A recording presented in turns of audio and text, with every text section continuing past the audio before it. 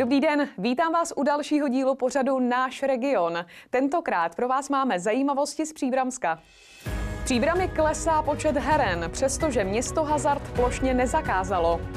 V Jincích vznikne nové muzeum, jeho sídlem bude bývalá huť Barbora. Chráněná krajná oblast Brdy je dobře střežena, policistům pomáhá i dron. A na zámku v Dobříši vystavují rodokmeny významných šlechtických rodů. Plošný zákaz hazardu se už několik let snaží prosadit část vedení příbramy. Tato problematika zdejší radnici rozdělila na dva tábory a místní obyvatelé se tak zákazu zatím nedočkali. I přesto počet heren ve městě klesl, a to zejména díky novele loterijního zákona. Příbram se snaží dlouhodobě bojovat proti hazardu a i přesto, že se vedení města neschodlo na plošném zákazu heren, jejich počet se razantně snížil. Co se týče počtu heren, tak ten se nám podařilo díky novele loterijního zákona zredukovat. Před rokem jsme měli 26 míst, na kterých se provozovaly výherní hrací automaty. Dneska těch míst je 10.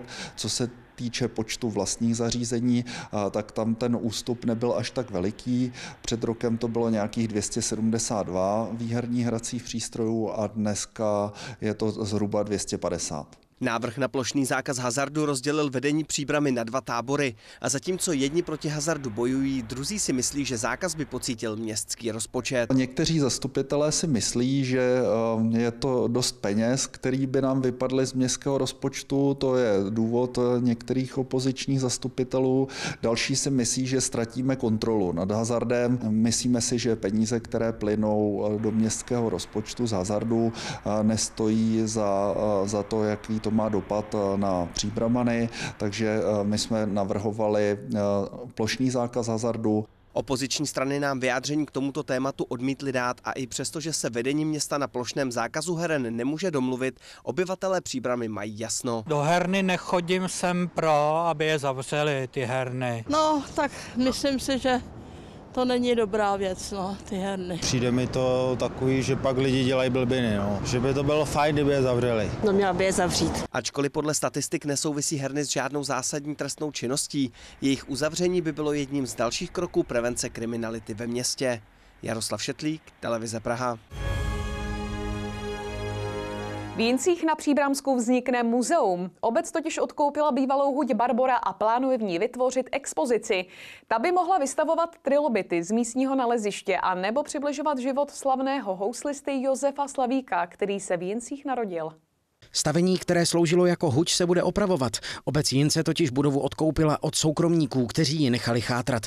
V budoucnu by tu mohlo vzniknout muzeum věnující se mimo jiné historii hutnictví. Chtěli bychom se právě věnovat eh, oblasti hutnictví tady v okolí Brd, protože tady už od roku 13, asi 10 eh, vlastně se kutalo a tavilo železo různými metodami a v Jincích se máme čím pochlubit. Máme tady houslistu Josefa Slavíka, známe ho víceméně po celé Evropě a jsme v Jincích, takže sem patří i trilobiti. Předpokládáme, že teda bychom nechali lidem i šáhnout na ten kamen, aby si rozklepli ten kamen a toho trilobita našli. Budovu obec koupila na konci loňského roku za 5 milionů korun. Pak začalo zpracovávání projektové dokumentace a obec musela vysoutěžit zhotovitele první části oprav. Rekonstrukce začne na jaře příštího roku. Stavební firma začne u střechy. Na její opravy uvolnil peníze středočeský kraj. Projekt budovy zachová vysokou pec i přilehlá pracoviště. K tomu všemu ale nabídne i společenské prostory. Kromě toho, že tam bude hutnictví, tak počítáme, že bude jako otevřený prostor, kde by se eventuálně nechali přinést, tak můžu říct židle a, a udělat tam koncert a, a sloužilo by to i k těmhle těm účelům.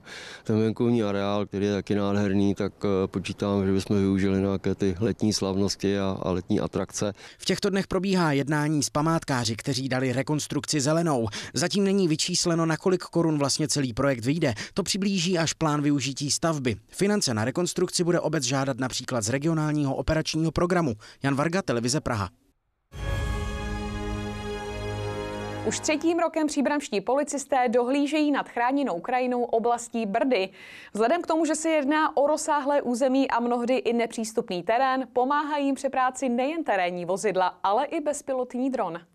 Od května minulého roku používají příbramští policisté pro svou práci jako jediný v republice bezpilotního drona. Využití tohoto letajícího parťáka je široké. Díky němu se daří strážcům zákona vyřešit mnoho případů či přestupků. Příklad 11krát to bylo pátrací akce, především po seniorech, nebo byl to zraněný cyklista dítě, pak eh, ve 44 případech to bylo bezpečnostní opatření, takže to byly například velké hudební festivaly, nějaké slavnosti a podobně a v 18 případech nám, nám pomáhal dron vlastně ohledávat eh, nějaké, nějaká místa závažných událostí. Bezpilotní dron je prioritně určen pro dohled nad chráněnou krajinou oblasti Brdy, která disponuje rozsáhlým a mnohdy nepřístupným terénem. V loňském roce jsme řešili například 458 nepovolených vjezdů do chráněné krajinné oblasti Brdy, ale řešili jsme i jiné případy, právě třeba nepovolenou těžbu dřeva, odcizení rozcestníků a do, nějakého značení tento 10-kilogramový drobeček má rozpětí okolo 1,5 metru a doletí až do vzdálenosti 10 kilometrů. Mimo jiné je vybaven i kamerou na noční vidění, takže mu jen tak něco neunikne. Je tam eh, termokamera TAU 2 eh, s rozlišením 640 na 480. Eh, termokamera samozřejmě snímá tepelný pole, to znamená, že používáme při pátrání nebo při, při nějakých činnostech, kdy něco hledáme v lese. Například při pátrání po osobách je tento dron někdy efektivnější než vrtulník. Díky výměným baterií může být téměř neustále ve vzduchu a monitorovat určenou oblast. Další výhodou je i ekonomičtější provoz, který vyjde okolo 700 korun za den. David Vilček, Televize Praha.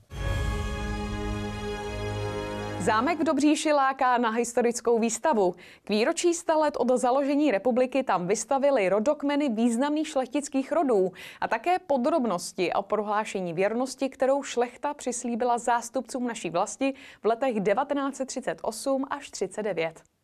Milovníci detailní historie si přijdou na své na zámku v Dobříši. Koná se tam totiž zajímavá výstava s názvem Česká šlechta v boji za českou státnost.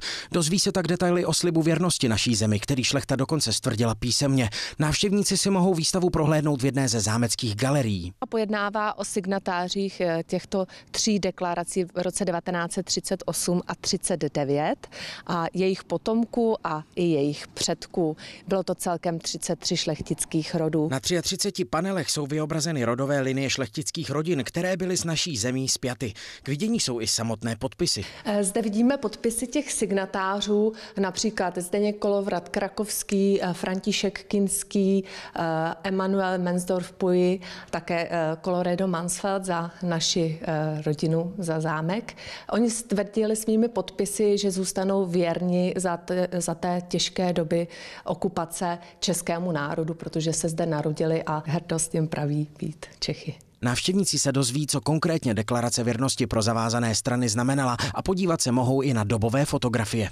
Za té druhé světové války byl to velmi odvážný čin, protože za druhé světové války s nástupem nacismu byly potom eh, ty rody persekuovány a eh, to, i to si můžeme přečíst eh, na těch panelech. Výstava je otevřena každý den, kromě pondělí. Zájemci si mohou šlechtickou expozici na zámku Dobříž projít až do konce prosince letošního roku. Jan Varga, Televize Praha. To bylo z Příbramska pro dnešek vše. Těšíme se příště na viděnou zase v jiném regionu.